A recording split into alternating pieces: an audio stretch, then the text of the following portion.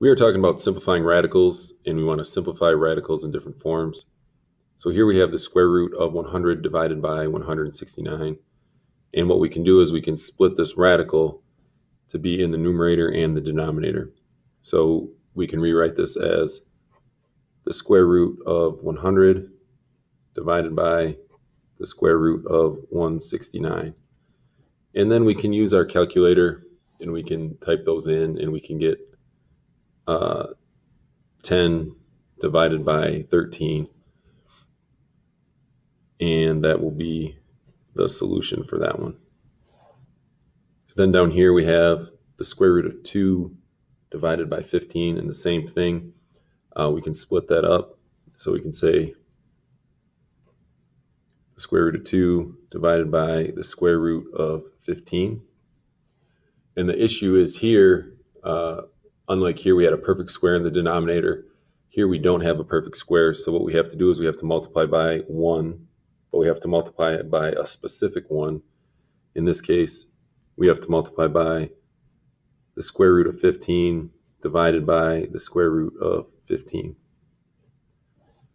So when we do that, this is equal to 1. It doesn't change the value, and what we get is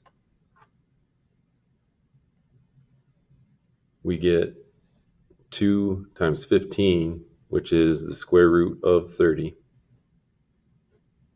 divided by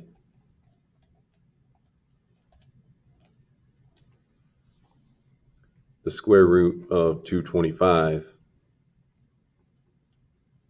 which is equal to, uh, we actually can't reduce the square root of 30. That's as simple as it gets. Uh, and so if, it, if we broke this down, it w- would be the square root of 2 times 3 times 5.